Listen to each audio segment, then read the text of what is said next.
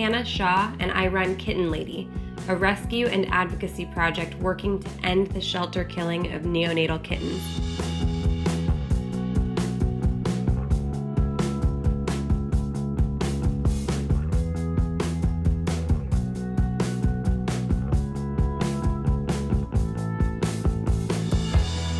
Most people don't realize that kittens are often the most euthanized population in animal shelters. Most shelters aren't prepared to provide the specialized and constant around the clock care that kittens need. Young kittens have underdeveloped immune systems and are extremely susceptible to illness when impounded in a high volume setting like an animal shelter.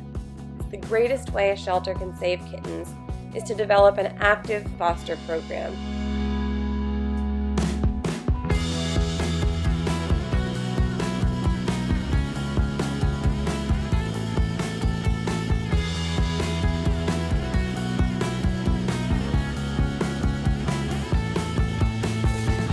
Kitten is a mess. Her belly is completely caving in because she's so hungry.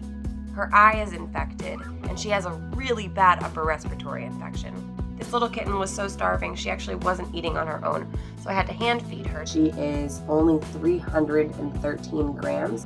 This is one of the amazing things that fostering does. It gives them individualized care so that she has a chance to survive.